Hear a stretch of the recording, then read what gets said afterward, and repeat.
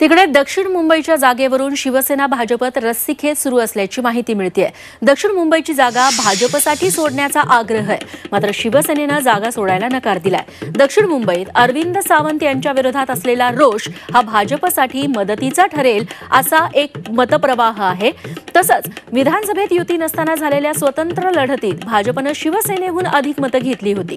दक्षिण मुंबईत सध्या शिंदेंच्या शिवसेनेसोबत केवळ एक आमदार असून दोन आमदार शिवसेना ठाकरे गटाकडे आहेत. त्यामुळे भाजप या जागेसाठी आग्रही आहे. भाजपकडून राहुल नार्वेकर आणि मंगलप्रभात लोढा यांची नावं उमेदवारीसाठी चर्चेत आहेत. तर शिवसेनेचे मिलिंद देवरा आणि यशवंत जाधव लोकसभा लढण्यास इच्छुक आहेत.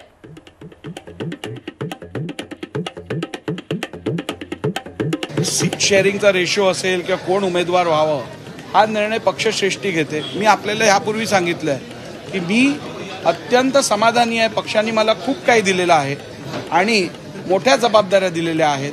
त्यामुळे मला पक्षाकडनं अजून काहीही मागायचं नाही आहे दक्षिण मुंबईसाठी भाजप आग्रही का आहे? जाणून घेऊयात.